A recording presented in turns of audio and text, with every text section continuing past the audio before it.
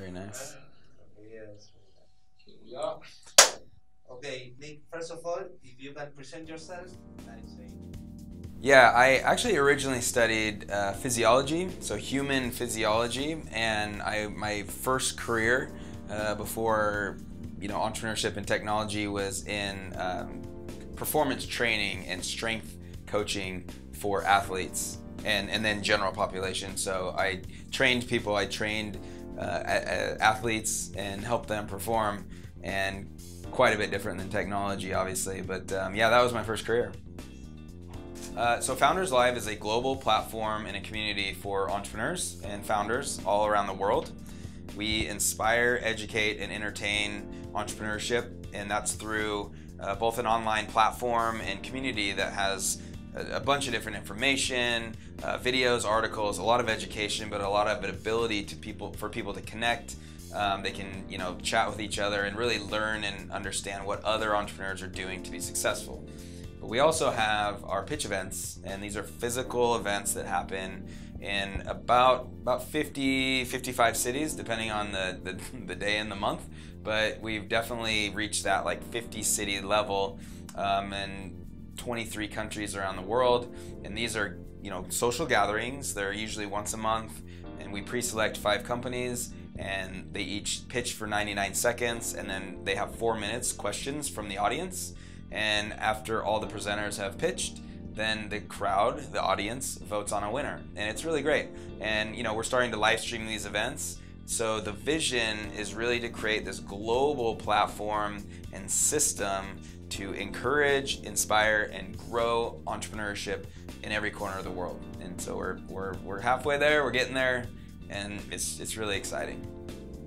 Yes, I learned so much more from my mistakes. And I would tell any founder and entrepreneur that you you just got to make them, and you have to be well. You at least have to understand that the failures that happen early in your career and in maybe your first startup, those failures are the lessons that you will learn of maybe what not to do or just to what to expect. And you know, I think that that was the big thing is the first co- company, if not the second one, I didn't really know what to expect. And so the decisions I made based on some of those things that I didn't know were happening uh, led to that, that company not being successful. And so, you know, third time around, you kind of know what to expect. And you know, as you've watched other successful companies and founders that I'm actually close with, you just pick up, you know, those, those tips. Uh, but yeah, it's, is gonna happen. I actually consider it just learnings, and it just it really makes you a better entrepreneur and a smarter entrepreneur, but they're gonna happen. I remember the earliest days that I wanted to be an entrepreneur was back in my previous career when I really started to feel that my impact wasn't, I mean, it was direct with people, like small amount of people, but I really wanted to create things and impact people around the world. I And we're talking about millions of people. And so it was probably, you know, I would say late 20s for my age, you know, in the late 20s that I started to feel like I wanted to do something different. And I realized that it was going to come from me creating my own company. And so, yeah, probably late 20s, I started to get that feeling.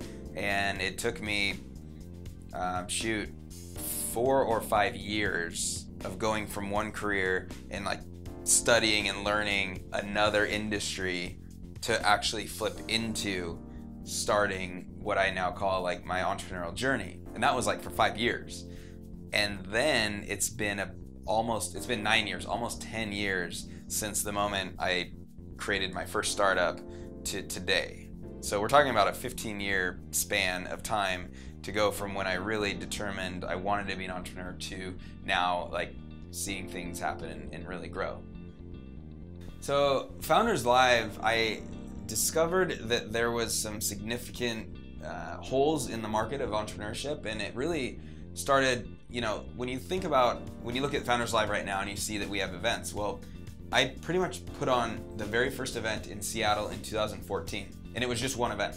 And you know, the way I described, you know, it was a it was an event. We had food, drink, music. We had we pre-selected five early stage founders, and they each pitched for 99 seconds and then four minutes of q&a from the audience and at the end the crowd voted on which one they thought was the best and that was the very first event in march of 2014 and i just kept putting that event on in seattle after that and people kept showing up and it was growing. And what happened was over time i discovered that there's something unique here. People really enjoy this. But more importantly, I started talking to other entrepreneurs in other cities and countries. And I realized that they lacked a lot of this connection. They, they lacked information that was appropriate and, and helpful to build their company. They lacked access to capital to grow their company. They lacked access to just a, a, network of founders that are doing the same thing, maybe around the world.